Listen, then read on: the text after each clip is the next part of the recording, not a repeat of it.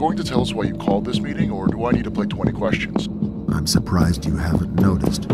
Every engagement, they are always one step ahead of us.